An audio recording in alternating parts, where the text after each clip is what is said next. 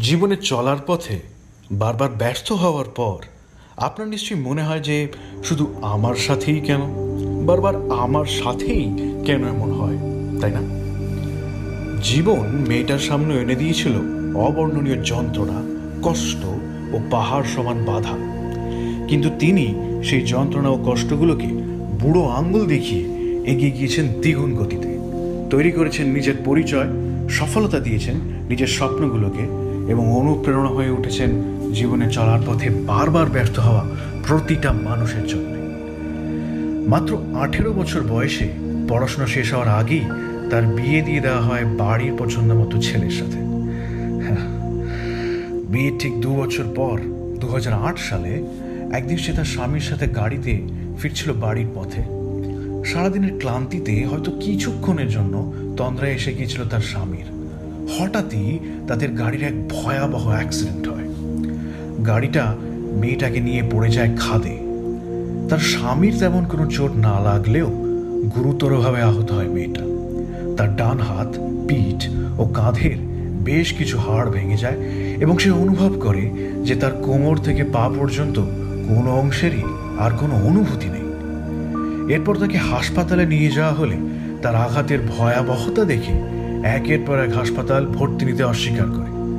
শেষ পর্যন্ত করাচির এক হাসপাতালে ভর্তি করা হয় তাকে, কিন্তু হাসপাতালে ভর্তির পরের দিন থেকেই তার কাছে আসতে থাকে একের পর এক খারাপ খবর। ডাক্তার তাকে বলে, তার ডান হাতের কবজির হাড় ভেঙে যাওয়ার কারণে তিনি আর কোনোদিন ছবি আঁকতে পারবেন না। পরের দিন ডাক্তার বলেন যে তার স্পাইনাল কর্ড আঘাত এতটাই বেশি যে তিনি আর কোনোদিন হাঁটতে পারবেন সব থেকে বড় কথা, তিনি আর কোনোদিন মা হতে পারবেন না।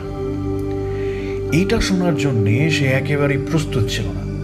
তার মনে হলো কেউ যেন তার পায়ের তলা থেকে মাটি কেড়ে নিয়েছে। তার মনে হতে লাগল, এই বোঝার মতো শরীরটাকে নিয়ে বেঁচে থেকে কী লাভ? এমন প্রতিবন্ধী শরীর নিয়ে সে তো পৃথিবীর কোনো কাজেই লাগবে না।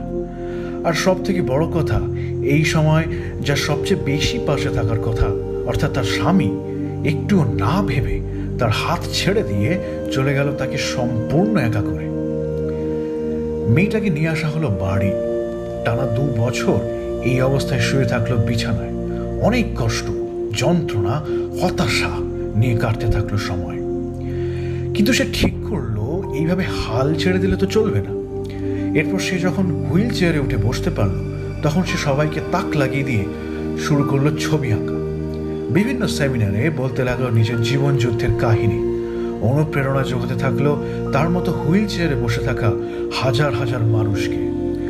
দু বছর আগে যে মানুষটা জীবনে বেঁচে থাকার সব আশা হারিয়ে ফেলেছিল, সেই মানুষটাই ফিরে এলো সম্পূর্ণ নতুনভাবে, জীবনের হাল ধরতে।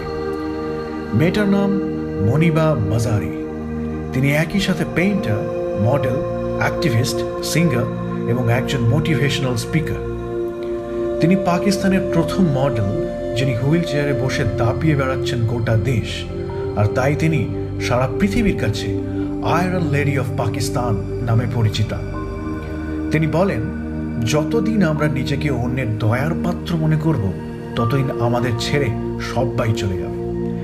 তাই নিজেকে ভালোবাসুন, নিজের জন্য কাজ করুন, নিজেকে গুরুত্ব দিন। তাহলে সারা পৃথিবী আপনার কাছে মাথা নত করতে বাধ্য ভালো থাকুন মনিবা মাজারি।